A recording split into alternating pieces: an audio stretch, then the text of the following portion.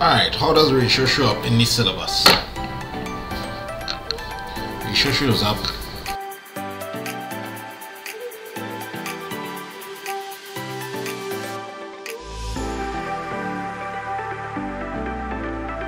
ratios mentioned in the syllabus in mainly in this first section of the syllabus specific objectives 14 18 and 19 in computation and numeration ratio proportion and rates. Just comparing divide a quantity into given ratio ratio proportion of no more than three parts. So you could you wouldn't get four.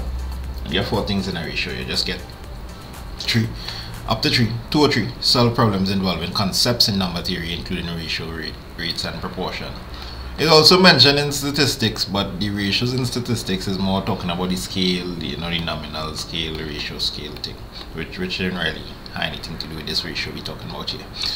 How does it usually appear in exams? So in exams, we get real life examples, and each one of them take their turn. So it's like 30, uh, 33 and a third percent, one third for each.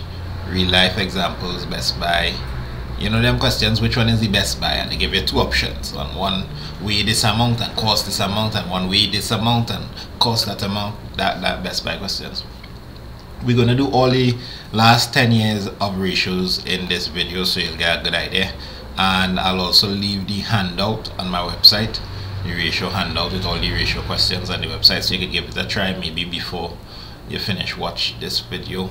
So you can pause on the video. After you watch the theory pause, do the questions, come back to the video, watch me mash up the questions, hopefully and make no mistakes, them kind of thing.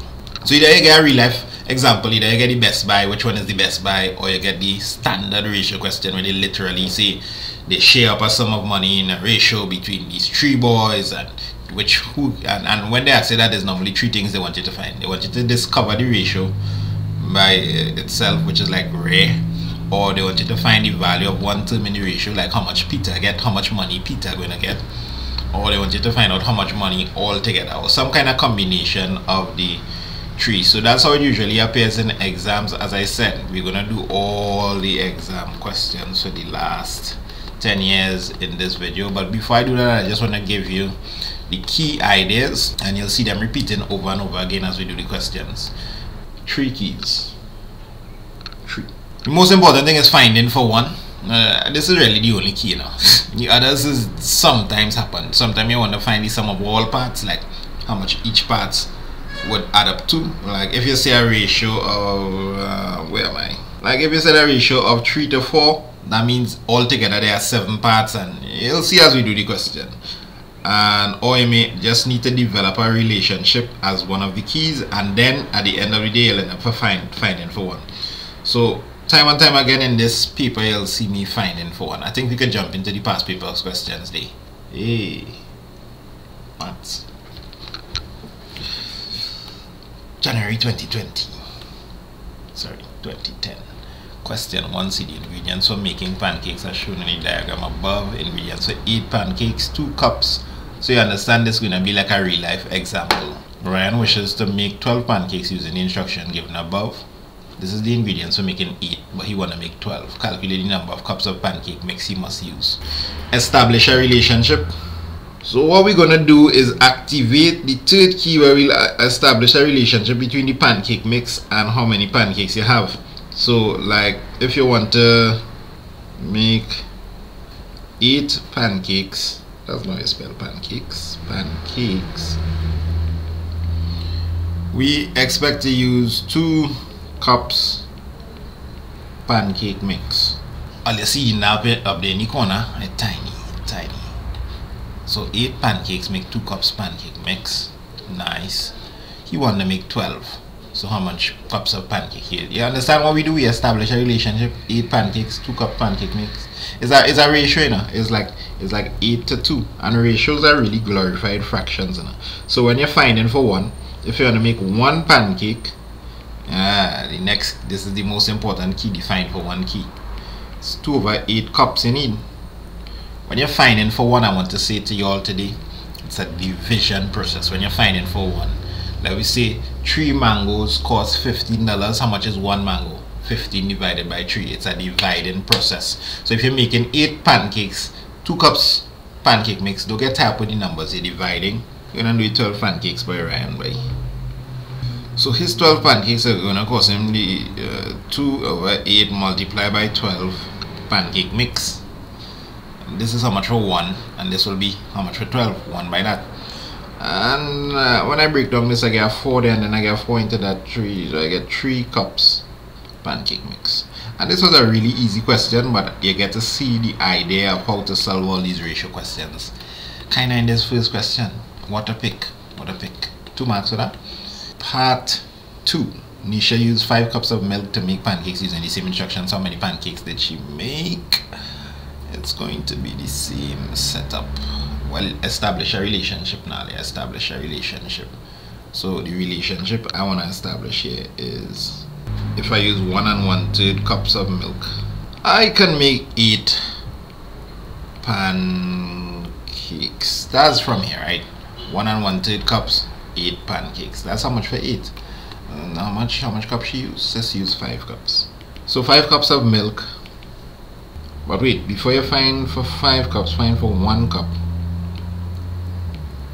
It'll be eight divided by one and one third on my calculator 8 divided by 1 and a third is 6 so this is defined for one process which is a division process so 6 pancakes so 1 cup of milk will make 6 pancakes how much cups she used? just use 5 cups and immediately you can see now you're going to just multiply up and get 30 pancakes another 2 marks in the bag handwriting not that bad it's not that bad actually Another three marks in the bag. Good thing, good thing. Next question. Smiley orange juice is sold in cartons of two different sizes. The better buy. So this is a better buy question from June 2013. Which side carton of orange juice is the better buy justify answer? How will you do this question? How will you do this question? The better buy questions are done using a kind of um, proportion finding for one issue. So uh, you, you're kind of going to find how much one milliliter costs here and how much one milliliter costs there and that will be it. So let's say for the 350 mls, 350 mls costs $420. 420 where I remember that from? Hmm. uh, so 1 ml will cost 420 divided by 350. Calculate the time 0.012 of a dollar. Mm, for the 450 ml, 450 mls is equal to $5.13. So in this scenario, 1 ml will be the 513 divided by the 450 calculator time. And this is 0 0.0114 of a dollar. Using our expert decoding skills we can see that this one is expensive.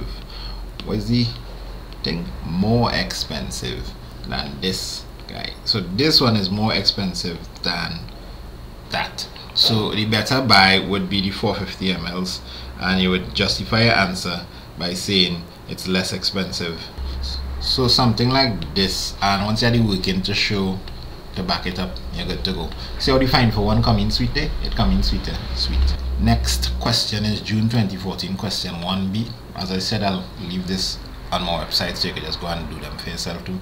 Concrete tiles are made using buckets of cement sand and gravel mixed in the ratio. Ah so this is so we get the three style of questions here you had the um the, the real life example, you have the best buy, and then you have a just a classic ratio question. How many buckets of gravel are needed for four buckets of cement? How many buckets of gravel need for four buckets of cement? So intricate, intricate. Once again, we are looking to establish a relationship and we want the relationship between the gravel and the cement there it is the one so the thing with ratios is that they go respectively. A cement sand gravel. 146 cement sand gravel. So cement and gravel alone if we just looking at cement and gravel alone is like 1 to 6 so what kind of relationship is that boy? Cement to gravel is like 1 to 6 therefore if we have 4 buckets of cement notice this is already a one a one a fine for one relationship here it will be equal to 6 times 4 right you found for one already so you don't need to divide you just multiply up Nice, nice, nice, nice, nice. If 20 buckets of sand are used, how many buckets of each of the following will be needed? Cement, gravel. So we want to look at the relationship sand to cement first and then sand to gravel. Sand to cement, sand to cement is 4 to 1. Uh, well, I could put 1 to 4, but I want to put the cement on the next side. So I'll put sand to cement, you understand? So let me try this one. So sand to cement is 4 to 1. And since we want to be out here using 20 buckets, hold up. In this case, we need to find for 1 first.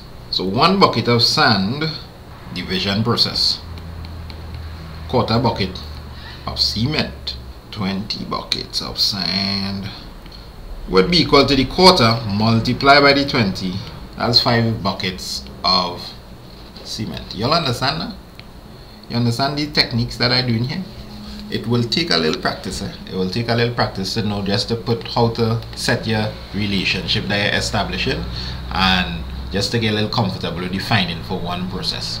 You notice is always a division. 4 was 1 so then 1 would be 1 divided by 4 and you see that every time we find for 1 450 was 5 to 10 so 1 is 5 to 10 divided by 450 similarly here we're going good I feeling like I feeling like I feeling like all learning things similarly if we look at our ratio again um, cement sand gravel and we want to get sand to gravel we'll see that is like a 4 to 6 relationship that could break down but we can just stay with the same 4 to 6 4 to 6 Fine for 1 if one bucket of sand is equal to your divide, right? The 6 will come and get divided by the 4 buckets of cement. Hey, I leave all the word buckets from up there. Somewhere here, I leave all the word buckets. But I not didn't take away no marks for that. I just my weekend day. And if it was 20 buckets of sand, we just need to multiply now. Once again, 30 buckets of cement. Oh, I didn't see that. Yeah. So if it was 20 buckets of sand, so if it was 20 buckets of sand, you need to multiply by the 20, and once again, 30 buckets of cement before cancelling to the 20, give you 5, 6 by 5, 30. Lovely. If a question like that comes for exams, I feel you, feel you could handle it. You do a next one. Another best buy question. Better buy question. Better buy.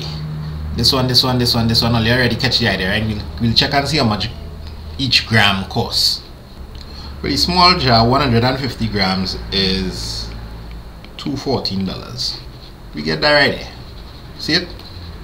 Bang, bang, boom, bang, boom, bang, bang, bang. Fine for one. Calculator. Watch it. Smile. That's one gram. How much one gram costs?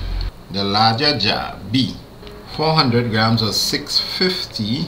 Fine for one. It's a division process. And which is the bigger number here? This is the bigger number? Yeah, that's the bigger number. This one, wait, the bigger jar more expensive this time, boy. Bigger jar more expensive. So the better buy is small jar.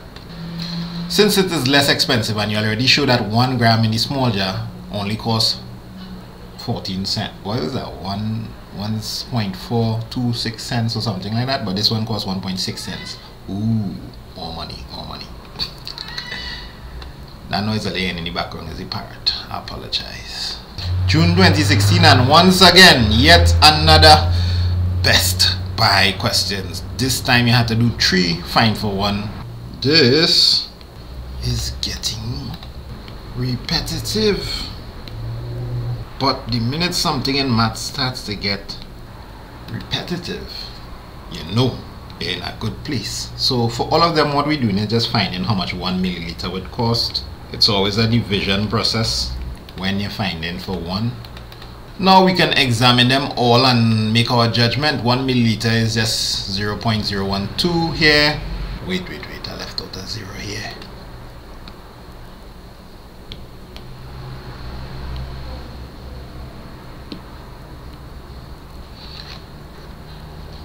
1 millimeter for the 450 is 0 0.011 that's that 118 this is 116 oh the 500 of it. The 500 is the best. So the best you'll see that? That's the smallest number. Best buy is the I know we're writing this and I realized what they really ask is for the most cost effective buy. So I didn't really need to use the word best buy. I can just say the most cost effective buy is the 500 ml and then here's my weekend It's a few more to go three more this is a strange ratio question but read it read it This come 2020 not too long ago. And neon light flashes five times every 10 seconds show that the light flashes 43200 times in one day. You know, people was real talking about this question after the exam, and some people get it wrong. The two main ways that students solve this question was like the kind of 5 times 10 seconds, find out how much in a minute, find out how much in an hour, find out how much in a day. Which is cool. You could also do a finding for one technique for this. Let me show you. Establish a relationship and you'll find that every 10 seconds we have 5 flashes. So theoretically, in 1 second there's like 5 tenths the dividing process of a flash. In one day, we have 60 seconds in a minute, 60 minutes in an hour, 24 hours in a day. 86,400 seconds. You know what that means? After you find for one, you multiply by the 86,400. 5 tenths is like a half. A half is like divided by 2. If I divide that by 2, I will get 43200. And this just means you prove what it is they was trying for you to prove. 43200. So you can actually use the find for one process in this and it's pretty simple. Or you can just use the other method, which I think most students use. 5 times every 10 seconds, then they work out how many in 1 minute, how many in an hour, how many in the day. So you just kind of multiply going up your road. Two more quick questions to do and then we'll do some multiple choice sample questions. So in 2021 this one was really easy. I mean this is just a multiplication process. One sheet is this. So 75 sheets will be 75 times that. Multiply and just make sure you get that number there tell me if I get through. The ratio of teachers to male students to, okay here's a solid ratio male of teachers to male students to female students okay so you know what each number here represents right teachers, male students, female students. Total number of students in the school is 630. How many parts this mean? That's the 17 and the 18. So the student parts in the ratio is 17 plus 18, which is 35 all day every day. Which means 35 parts really represent the 630 number. Fine for one, the golden rule. One part mean 18 persons. And how many parts is for teachers? 3 the number of teachers will be 18 times 3 54 teachers yo. So that's a look at the last 10 years of ratio questions. It's a thing of beauty? And I hope you can understand that the key idea is really to just find for one. Find for unit. Well, we spend a couple minutes and party with some sample multiple choice questions just to you know finish strong John Peter and Mary shared a sum of money 249. John and Peter received 360 together. How much money was shared altogether? This term and that term represent how much John and Peter received. So that's six parts altogether. So this six parts equals 360. You understand what we're doing here? We establish the relationship. We find for one. Once we find for one, we could solve anything. How much money was shared altogether? That's all the parts. That's 2, 4, and 6. So that's 2, 4, and 9, sorry. So that's 15 parts.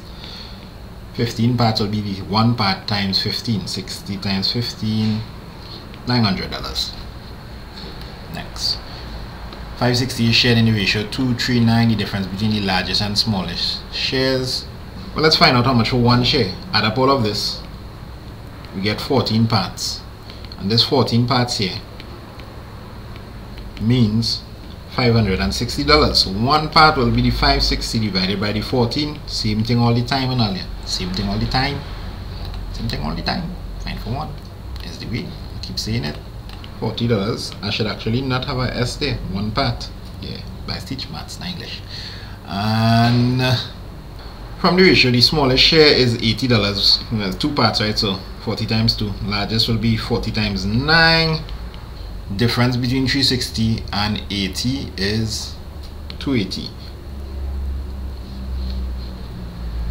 another thing we could have done is 9 take away 2 is 7 that 7 parts is the difference so 7 times 40 is also the same as 280 number 3 Anne and Betty share the sum of money 2 to 3 respectively and received 120 what it was Betty's share. Well Anne receives two parts right? So her two parts is worth 120 dollars so you find for one.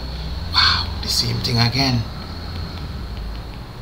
that's like $60 so Betty's share which is three parts will be 3 times 60 which is 180 all these answers is C so boy. Oops I repeat. We're nearing up the end in a school the ratio of the number of pupils to the number of teachers is 20 to 1 if the number of pupils is 840 how many teachers are there? 20 parts represents the number of pupils and that's like 840 so one part will be 840 divided by 20 which is 42 and since the number of teachers is only one part. It is just 42 so next question we're going to share 350 in this ratio. All we need to do is get the sum of all the parts which is 7 parts and that must be equal to the full 350 which means one part is equal to $50 and the smaller part which is 2 will be 2 times that $50 which is C. Here's a nice little best buy question which amount is the best buy. So we divide up all of these. I'll leave that for you all to divide up all of these and see which one give you the best buy now see which one? Boom bam bing bang bing. And it's nice numbers to divide so eh, nothing too hard. One last one to leave with you. 540 beads as shared in the ratio 4 to 5 the larger share of beads. We do one similar to this already. Let me just come on the way so you can see options. Love and blessings. This brings us to the end of ratio questions here. If you benefited from this be sure to press like. Be sure to subscribe. We have more stuff coming. Let me know what topics you want us to do I'm watching this screen here because I this screen here I'm supposed to be watching on here so you can make some connection press like and um, let me know what's, what topics struggle you're struggling with now answers. As usual, these videos are meant to go hand in hand with my long form classes. If you want to join those classes, it's just 200 TT a month. Still, just 200 TT a month.